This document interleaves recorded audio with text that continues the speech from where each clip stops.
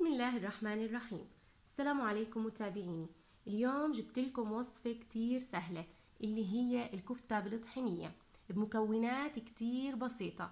راح أبلش معاكم بمكوناتي اللي هي عبارة عن نصف كيلو من الكفتة. طبعا أنا جبت ربع كيلو من لحم الخروف وربع كيلو من لحم العجل ونص كوب من البقدونس وبصل كبيرة وحبة بندورة وملح وفلفل وعملتهم على محضرة الطعام وشكلتها بهذا الشكل. وعندي حبة بطاطا كبيرة قطعتها بهذا الشكل ارتفاع تقريبا واحد سنتي. وعندي ثلاث معالق من اللبن عندي ملح ملعقة كبيرة فلفل أسود نصف ملعقة وعندي نصف فنجان من الليمون وفنجان من الطحينية وكوبين من الماء. هلا راح نقوم بوضع البطاطا فوق الكفتة.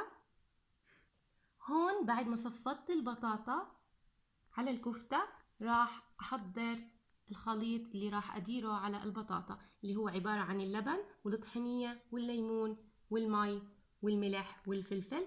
راح أقوم بخفقهم منيح مع بعض يا إما بالخلاط أو بإيدي يعني بالخفاقة اليدوية. هون بعد ما خفقت مكوناتي مع بعض راح أديره على الكفتة. وهون صينيتي صارت جاهزة راح أغلفها بورق الفويل وأحطها بالفرن على درجة حرارة 180 لحد ما تستوي معي الكفتة والبطاطا وأحمر وجهها. وهيك شكلها النهائي. بعد ما أخذت معي تقريبا نص ساعة بالفرن شلت ورق الفويل حمرت وجهها قدمتها مع الخس والخيار.